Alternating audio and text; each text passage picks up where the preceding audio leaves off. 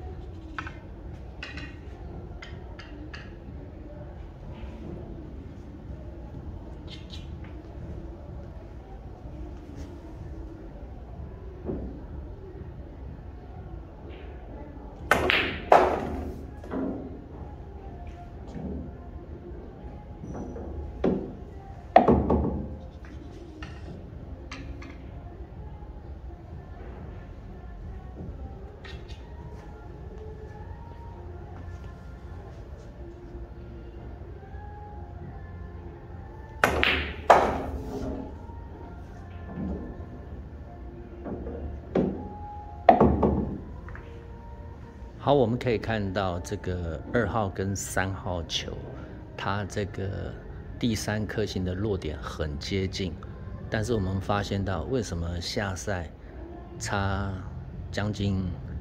这个两点到三点，但是为什么这个三号球照道理它的旋转值会更大，会到第二颗星的时候它角度会更拉大，往左边偏上碰到第三颗星，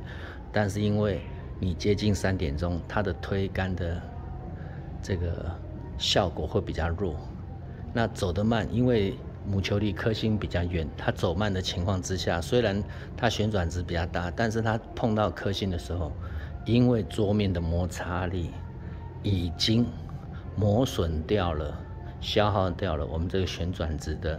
转的圈数。简单讲就这样子说，所以它变成旋转值也被。这个磨掉以外不够旋转，再来跑的速度变成碰到第二颗星的时候，转动力量变成移动力量也会减弱，所以它会跑得比二号球感觉比较慢。但是他们碰到第三颗星的点差不多，所以我刚刚有提到二号球跟三号球是观察重点，那各位不妨可以自己也试试看，做一个比较，那顺便检视自己的出杆。O 不 OK？